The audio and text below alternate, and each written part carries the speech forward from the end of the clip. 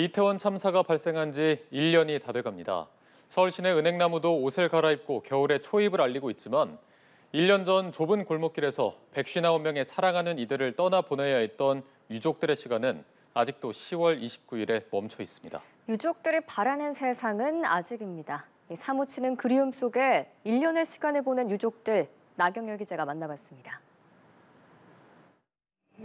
그저 길을 걷다 그날 그곳에서 별이 되어버린 159명의 참사 희생자들. 2022년 10월 29일 부모들의 세상은 뒤흔들렸습니다. 엄마가 힘들어하는 걸 보고 같이 이렇게 이웃에 살면 어떻겠냐. 그날 아들 임종원 씨를 잃은 이믹철 씨.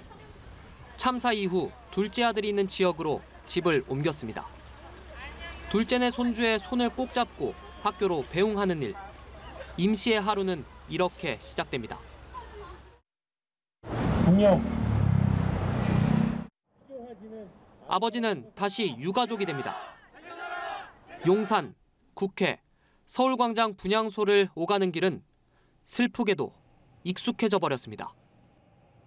거리로 나온 아버지, 존재만으로 든든했던 아들을 한시도 잊을 수 없습니다. 정원이가 좋아하던 음식을 먹을 때 제일 생각이 나죠. 그리고 또 생일이나 이런 기억의 힘으로 아버지는 오늘도 바쁘게 움직입니다. 이태원 참사 유가족인데요. 국회 문을 다시 두드립니다. 유족들은 298개의 국회의원실을 모두 돌며 이태원 참사 1주기 추모대회 초청장을 직접 전달했습니다. 벌써 1년. 누구보다 거리에 오래 있었지만 계절이 바뀌는 줄도 몰랐습니다.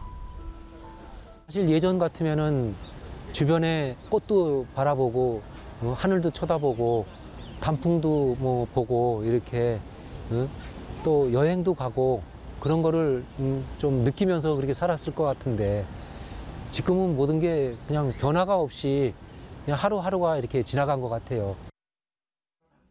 큰아들 최재혁 씨를 떠나보낸 어머니 김현숙 씨.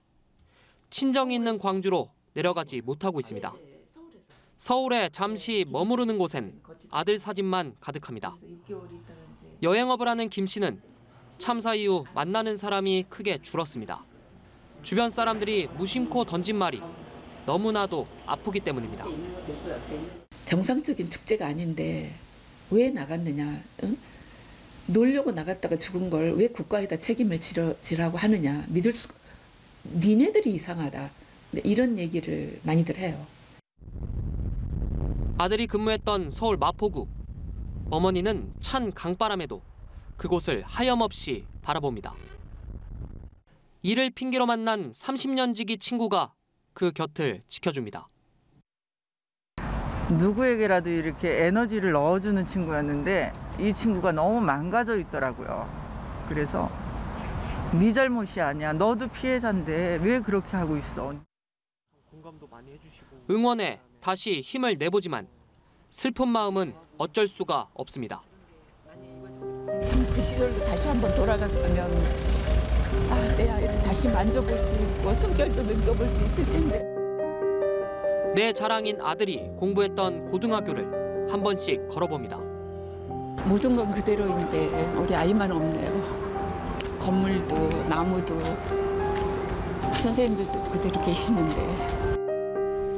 아직 바뀐 게 없는 1년. 그래서 유가족들은 멈출 수 없습니다.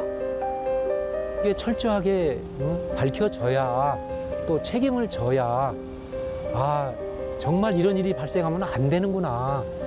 그래서 다시는 이제 예, 이러한 일이 예, 발생하지 않도록 정말 책임자들도 각성하고 예쁜 아이들이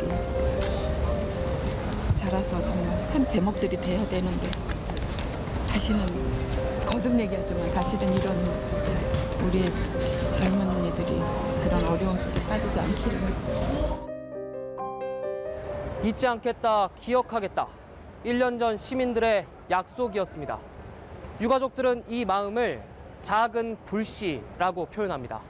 이 불씨가 꺼지지 않도록 하는 일, 우리 사회의 과제로 남아 있습니다. 연합뉴스 TV 나경열입니다.